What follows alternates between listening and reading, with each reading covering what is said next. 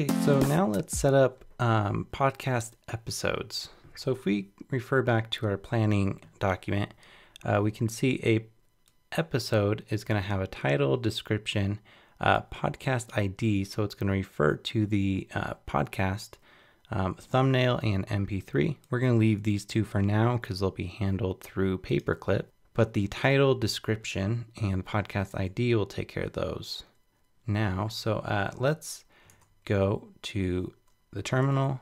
Let's do uh, git s just real quick, make sure we're good. Okay, let's do a uh, Rails generate model. We're going to do an episode model.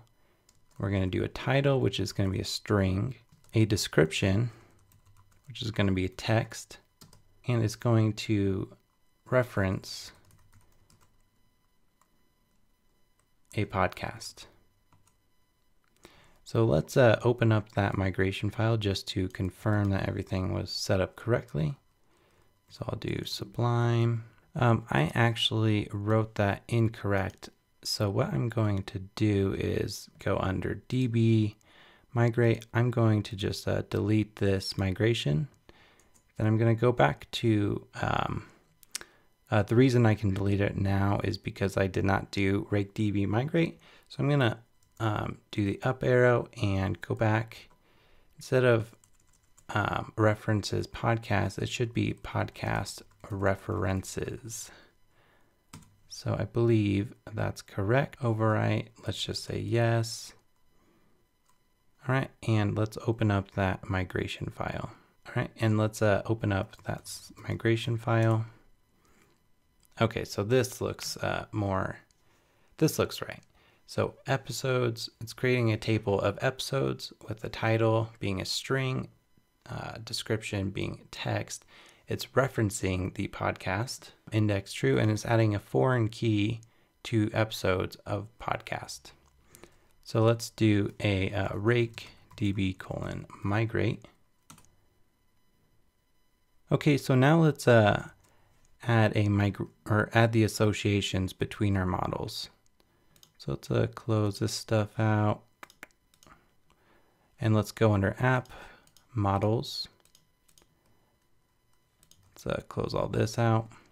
Let's open up podcast.rb and episode.rb. So an episode, if we refer back to our planning phase, an episode belongs to a podcast. And as you can see, that's already written. And that was done through our migration uh, references podcast or podcast references. Keep messing that one up. Um, and then the podcast has many episodes. So let's go to the podcast.rb and we will do has underscore many episodes. And you and notice that episodes is plural. So now let's go into our Rails console by doing Rails C. And I'm going to do episode. Whoops, episode Got to do episode dot connection to establish a connection first. Clear it. Now let's do episode.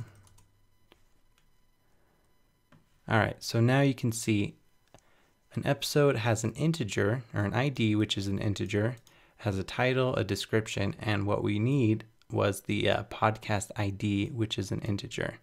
So it has everything we need minus the um, thumbnail and MP3. But for now, this is a good start. Let's add the ability. Well, let's first uh, do a git status. Let's add what we've done. Git s, git commit dash am, add episode model and associations for the message. Okay, so in the next video, we are going to add the ability to create new episodes and edit and destroy them.